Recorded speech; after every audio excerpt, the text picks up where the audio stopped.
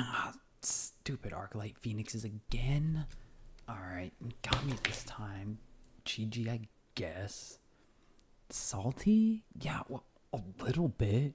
I mean, you're sitting here playing a deck that takes no skill whatsoever, and you were dead once I was able to untap and play my combo.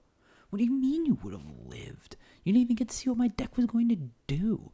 Once I was able to untap, I would have bring to light from my missing combo piece. I had my Inti plotted away from last turn's Kellan joins up, so when I get my Relic online, I can use my Rona to make infinite mana, then return my Otawara and Takenuma with Slogurk so I could bounce things, dig through my deck until I'm able to mill myself out, unless I just kill you with a giant ooze. So what if I didn't board in any graveyard hate? I was gonna win with anyway with my combo. You just didn't give me time. What do you mean I can't bring to light for artifacts? The card clearly says, you know, never mind.